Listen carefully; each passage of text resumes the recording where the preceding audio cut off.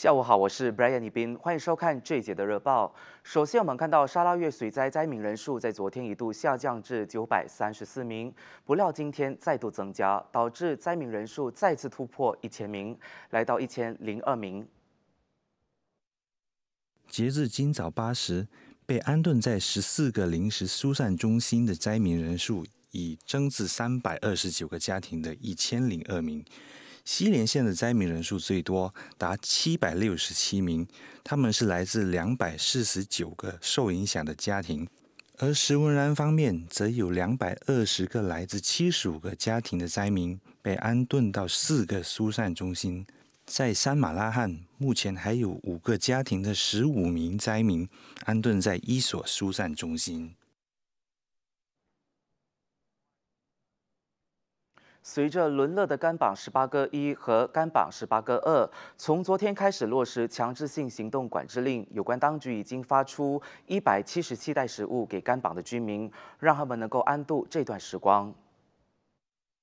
根据了解，这些食物都是由伦乐县公署、伦乐县福利局、伦乐县消拯局和伦乐民防部队所负责分发。当局派发这些食物，主要是为了保障受到影响的甘榜居民能够在加强性行动管制令期间有足够的粮食充饥。这些地方的加强性行动管制令将在本月十九号结束。据悉，伦乐落实加强性行动管制令，主要是因为该区官病病例上升的原因。目前，伦乐疫情吃紧。已经转为疫情红区。官兵疫情在沙拉月不见起色，因此在明都鲁出现确诊病例的市集和夜市受促，一律暂时关闭。沙拉越公用事业部长纳都斯里史蒂芬伦迪表示，卫生部透过明都鲁灾难委员会的议决而做出了以上的决定。明都鲁市集和夜市的暂时关闭，重点还是在于遏制新冠肺炎的散播。市集方面在昨晚已经正式停止营业，而夜市的暂时关闭措施则会在今晚正式生效。史蒂芬伦迪也说，明都鲁市集已经被明都鲁灾难委员会鉴定为新冠病毒散播的风险区，他也不排除在市集出现确诊病例，也许。是跟夜市有些许的关联，因此他促请小贩们能够给予卫生部和明都鲁灾难管理委员会全力的配合。史蒂芬伦迪也强调，卫生部会为市集的小贩们进行官病筛检。一名本地男子怀疑涉及网赌活动，昨天在充值时被警方发现，当场被逮捕接受调查。据石龙门景区主任博科亚安表示。警方是在十点三十分展开了骰子行动，在石龙门燕窝山逮捕该名涉及网赌的男子。警方在行动中充公现金、手机及数台电子产品。警方援引一九五三年居家公开赌博法令调查此案，一旦被定罪，可被罚款不少于五千令吉及不超过五万令吉，或被判坐牢不超过三年。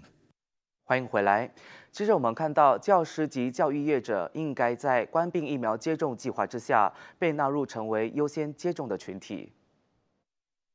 全国家教协会理事会主席拿督莫哈默阿里哈山及马来西亚药剂师协会主席安拉西表示，若教师优先接种疫苗，才能打造安全的校园环境，让学校可以重新开放，让教师可以面对面教学。此外，这也能稳定教育生态系统。而教师们接种疫苗后，无疑能提升教师们的士气，让他们有信心回归校园教导。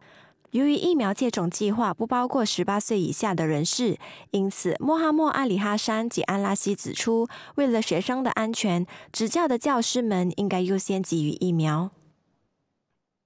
接着，我们看到国内贸易及消费人事务部为饮食业者及商家谋求福利，提出允许堂食以及服装店业者营业的申请。国内贸易及消费人事务部副部长拿多罗索华西指出，该部近期向国家安全理事会提交申请，要求在行动管制令期间允许民众堂食及允许服装店重开，确保商家的生计。他表示，申请允许堂食不仅是为了营业者的福利，也涵盖所有涉及食品业的工作者，包括工人、供应商及食品批发商。十四级餐车营业者已经保证，若允许堂食，将会遵守国安会所制定的所有标准作业程序。此外，申请让服装店重开，特别是要求允许业者在即将到来的农历新年还有五月开斋节的节庆期间营业。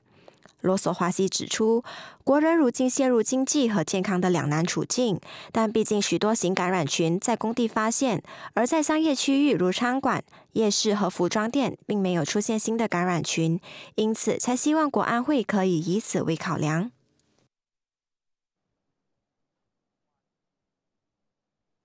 我们接着把焦点转向国际。截至目前，全球已经有超过两百三十万人死于新冠病毒。而根据美国约翰霍普金斯大学的数据显示，美国依然是疫情最严重的国家，累计超过四十六万一千六百八十一宗死亡病例，而确诊数字也达到两千六百九十万宗。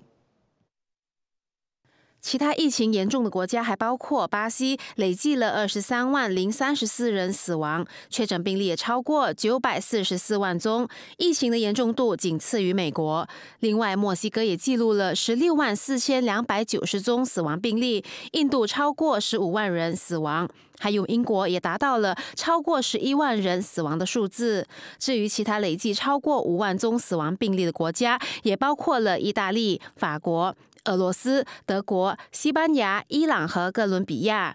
根据外国媒体的报道，法国方面在当地时间六号已经开始注射第三支获得批准的疫苗，而且境内通报新增确诊病例以及染疫住院治疗的病患都下滑，至少减缓了医疗体系面临的压力。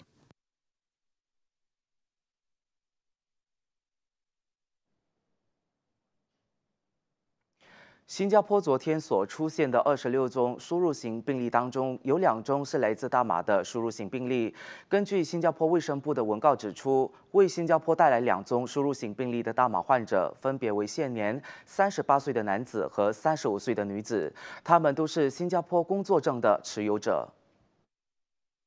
新加坡卫生部表示，二十六宗的输入型病例当中，有二十五宗是无症状患者，唯一一宗出现症状的是来自大马的患者。其他的输入型病例则是来自孟加拉、印度、印尼、德国、缅甸、菲律宾、英国和美国等。另外，新加坡昨天并没有出现本土感染病例，而且新加坡的输入型病例也已经连续七天低于三十宗。在之前的一星期，有四天是超过。三十宗。截至昨天中午，新加坡的累计冠病确诊病例已经达到了五万九千六百七十五起。大马旅游和文化部跟一些亚太区的邻国，包括汶莱、新加坡、泰国和日本、南韩、澳洲和纽西兰，落实绿色互惠通道措施。旅游艺术及文化部部长纳杜斯里南西苏克利说，该部已经跟卫生部、内政部以及外交部针对此事进行了磋商，而上述提到的国家也被世界卫生组织认可为安全的。他说，该措施还需要跟相关国家的有关机构，跟我国就健康、移民、数据追踪和检测方面的课题进行双边讨论和考量。而我国跟这些国家落实绿色互惠通道的措施之余，也会拟议一套统一并且透明化。的出入境程序，透过参考这些国家卫生机构所提供的相关意见，让出行更轻松。以上是这一节的热报，我是 Brian 李斌，感谢你的收看。